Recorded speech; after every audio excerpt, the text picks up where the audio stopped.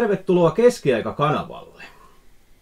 Tällä kertaa me olemme puukkoseppä Jani Ryynäsen pajassa ja jutustellaan pikkusen äh, keskiaikaistelusta ja sitten tietysti tästä itse seppätoiminnasta. Mä luulen, että on paljon harrastajia, joita tämä äh, erilainen tämmöinen takominen ja raudan kanssa tekemisissä oleminen niin vaiva varmasti kiinnostaa ihmisiä huomattavankin paljon ja mielenkiintoinen alue. Ja, ja, mutta äh, lähdetäänpä nyt siitä ensiksi, tota noin, että esittele vähän nyt itseesi ja tuo jotain pieniä ajatuksia eli, tähän alkuun. Eli niin kuin edellä sanottu, niin mä olen Jani Ryynänen ja teen näitä Sepän hommia kullaalla.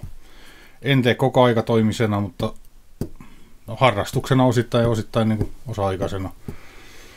Ja, ja mä aloitin tämän homman noin 20 vuotta sitten, vajaa.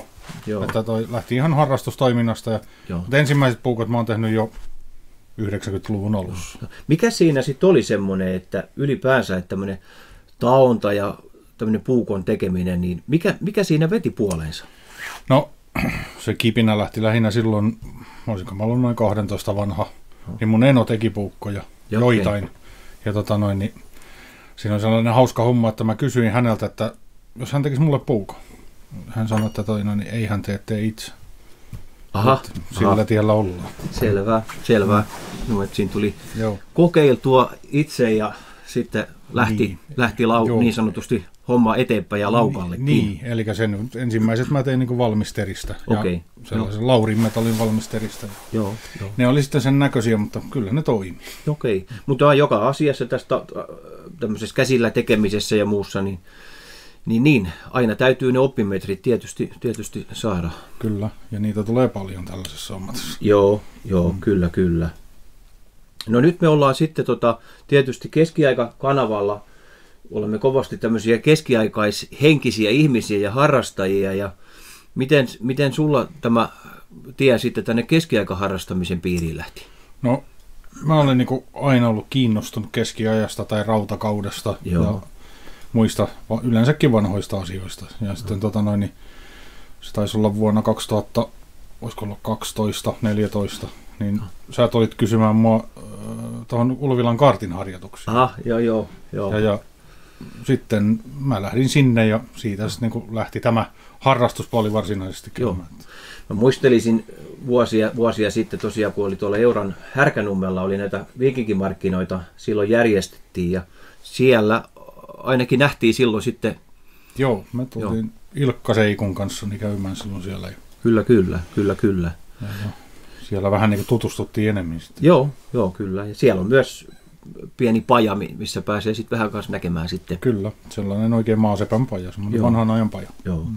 No mites ihan semmoisia nopeita ajatuksia siitä, että tämmöiset henkilöt, jotka nyt innostuu esimerkiksi tauntatyöstä ja muusta, niin onko tuommoisia niin nopeita vinkkejä, millä kannattaisi lähteä etenemään? No, jos mahdollista, niin tietysti kannattaa kokeilla, mutta mahdollista, niin mielellään niin menee ensimmäiseksi jonkun sellaisen kokeneen ihmisen oppiin, että kysyy, Joo. että voiko mennä tai hakee paikkakunnan kansalaisopistosta niin puukkokurssin tai jonkun yleensäkin tauntakurssin. Kyllä, kyllä. monet paikat järjestää, tai yllättävän monia paikkoja on siis nykyään, missä voi käydä. Ja, joo, joo. ja tosiaan niin kuin sitä kautta, että koska kuitenkin pelataan kuumia rautojen kanssa, niin se on tosiaankin aika vaarallista joo, kokemattomalle. Joo, kyllä. Että kyllä. kun se rauta, rauta on musta, niin se saattaa silti olla vielä 500 astetta. Joo.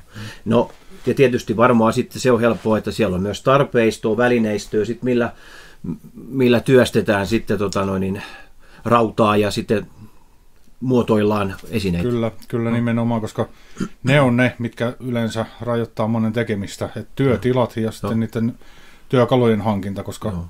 alasin muistaakseni on noin 10 euroa kilo. Niin, niin. Ja sitten kun se olisi hyvä olla se 4-60 kiloinen, niin siitä voi jokainen laskea, että niin. käytetylle alasimelle jo tulee hintaa. Niin, kyllä. kyllä, ja, voi, kyllä. Ja, ja voihan nyt tietysti, jos alkuun lähtee, niin tehdä vaikka rat, ratakiskon pätkän päällä, se kestää sen takomisen ja niin, näin. Niin. Mutta että se täytyy tosiaan, se turhauttaa, kun sä lyöt ja se alasin karkaa alta. Niin, täytyy olla tukevat, niin. tukevat työvälineet. Niin. Joo, kyllä, kyllä se vaatii kuitenkin voimaa siinä vaiheessa, kun ruvetaan lähtemään niin työstämään terää. Kyllä. Kyllä. Ja mitä tahansa rautaa, rautaa sitten. Kyllä. Ja ilmeisesti tämä puukkokin tietysti on, on, on semmoinen niin iso, iso juttu, mutta tietysti sitten samalla voi sitten kaikenlaista raudasta työstää erilaisia esineitä. Kyllä, kyllä joo, se on hyvä harjoitella vaikka tulusrauta ja Joo. ihan siis käyttötavara takomalla voi tehdä todella paljon. Joo. No mites käsitellään ihan pikkusen tätä, nyt meillä on niin nyt tässä tämmöinen niin hyvin perinteisiä niin kuin suomalaishenkisiä puukkoja, mutta täällä on monennäköistä muutakin, täällä on jopa hyvinkin erikoista, mutta ei mennä nyt ihan vielä siihen erikoistumiseen. Joo. Mutta jos meillä nyt on rautakautisia jäänteitä, puhutaan nyt skandinavisesta ja ehkä miksei suomalaisestakin hautalöytö tuo varasta, niin eroako ne nyt ää, juuri kauheasti tämän päivän tuotteista? No ehkä teränmalli saattaa hieman erota ja, ja, ja no kahva ehkä vähän, mutta siis todella vähän. Eli Joo. se muoto on pysynyt aika lailla samana sieltä rautakaudelta tähän päivään asti. Ja, että miksi sitä hyvää muuttamaan. Niin on, näin on, näin on. Mä itse tuossa kun vähän tutkein äh, niin kuin Suomen kansallismuseonkin jäämistöä ja muuta tämmöistä niin kuin kirjattua tietoa ää, puukoista ja tämmöisistä, niin aika paljon löytyy tuppeja, mutta sitten tota itse puukko on kateissa, niin mistä, mistä tämä johtuu? No siinä saattaa olla sellainen, että ne on yleensä terotettu niin, niin pieneksi, että jos niin kuin, se on ollut niin arvokas työkalu, että se on tosiaan, kun terä on tässä, niin se on tosiaan terotettu ihan, että moni on semmoinen ihan piikki. Joo, joo. Sitten se on loppujen lopuksi heitetty varmaan menemään, Niin. tai sitten se on mennyt hukkaan, kun se ei pysy enää tupessa. Joo, joo. Mutta kuitenkin, että ihan niin kuin tämän mallisia ne on ollut alku- ja rautakaudellakin. Ihan, ihan mä näytän tästä nyt hyvin tänne kameralle tänne lähemmäs vielä niin tota, Janin, Janin tuotoksia ja hyvin pelkistetty.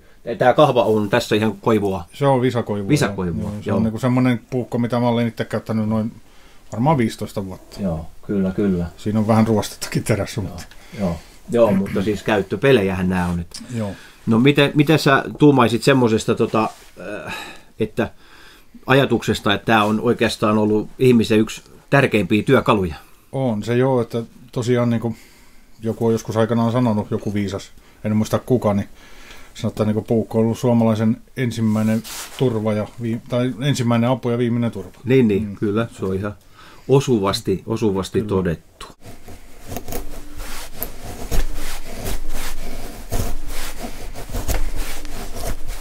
Ja nyt kun terä on sitten tapsuteltu tämmöiseen, tämmöiseen raakamuotoon, niin miten me sitten edetään? Eli sen jälkeen terä, niin tota, taunan jälkeen se hehkutetaan, eli normalisoidaan.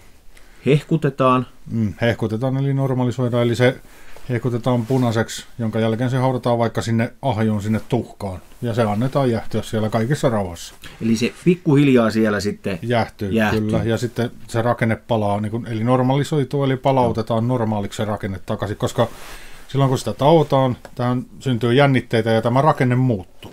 kyllä, joo, Ja tota noin, siis nyt kun se pakit periaatteessa niin kun hehkutetaan, niin se pistetään takaisin normaaliin tilaan, jonka jälkeen se voidaan, kun se on hehkutettu, niin se voidaan hioa. joo, Terän suu, eli tämä on terän suu, täällä on hamara ja tämä on ruoto. joo, Niin- Ja nämä on olkapäät. Niin nämä olkapäät ja tämä terä voidaan hioa silloin. joo, Ei tietenkään ihan teräksi asti, koska seuraavaksi tämä karkastaan.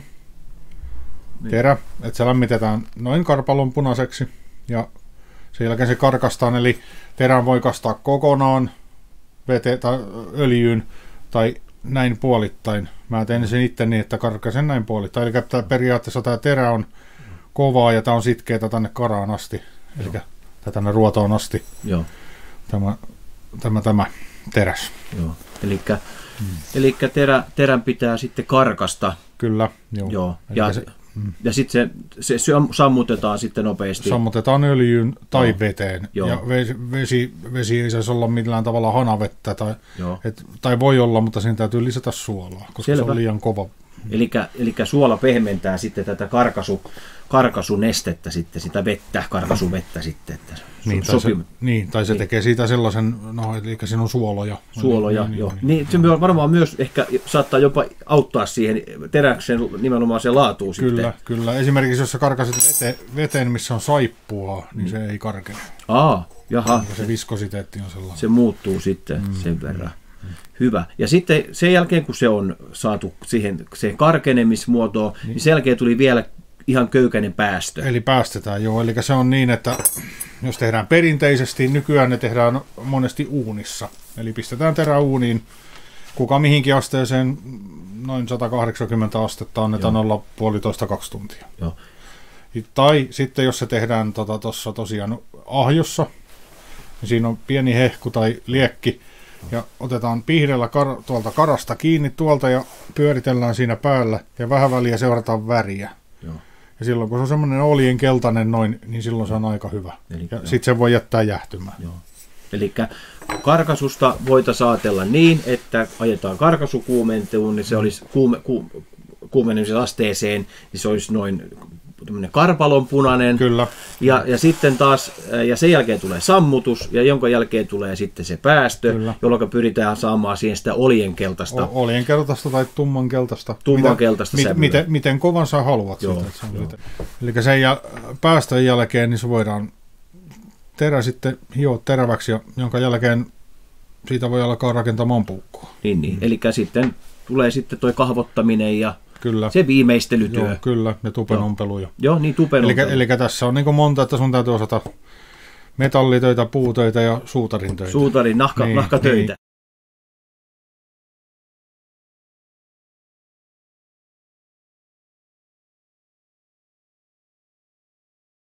Normaalistihan näihin tällaisiin helallisiin puukkoihin, niin tehdään tämmönen, niissä on tämmöinen läpiruoto, Joo, joka niitataan. joo, joo. Niin kuin näin. tässä, tässä, tässä näkyy ainakin tämmöinen hyvin, tämmöinen, tuosta nyt sopivassa valossa näytellään. Niin siellä on toi lyöty. Eli ruoti menee tänne läpi kahvasta ja sitten vaan niitataan se, niitataan se paikalle. Kyllä.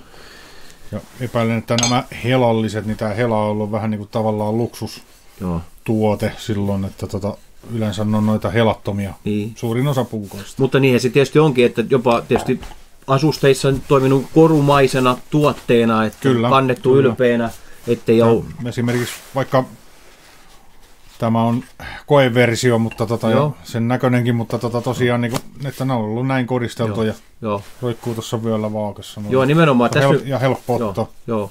Ja tässä onkin muuten mielenkiintoinen ilmiö tämä juuri, että sä, säilytetään vaaka, vaaka-asennossa Kyllä.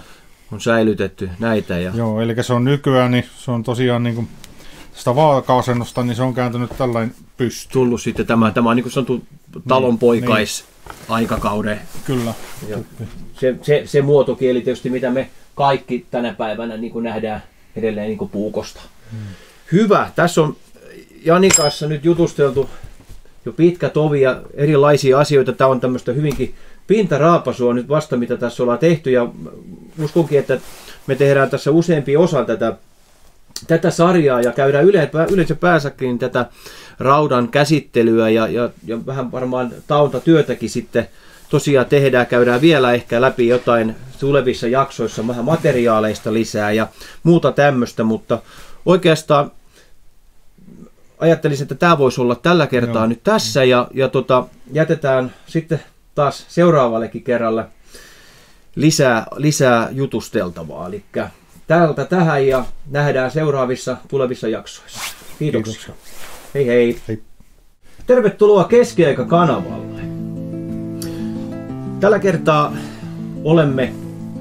Jaha, tämä lähti oikein heti hyvin liikkeelle. No, mulla ei ole siitä niinku tarkkaa tietoa, että Joo. noin, niin, milloin mä nyt sitten poikki vaan. Joo.